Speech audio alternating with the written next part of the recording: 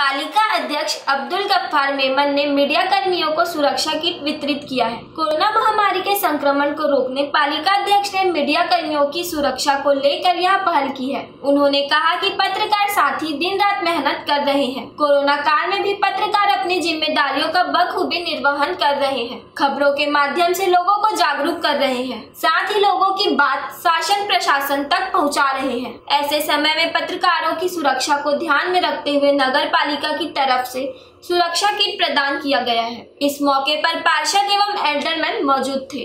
पत्रकार जो रात दिन मेहनत कर रहे हैं और इस कोरोना की लड़ाई में जनता की बात रख रहे हैं, सरकार की बात रख रहे हैं सभी को सुरक्षित रहने के लिए अपील कर रहे हैं। इसलिए उन लोगों को आज नगर पालिका परिसर गरियाबंद की तरफ़ से सुरक्षा किट दिया गया।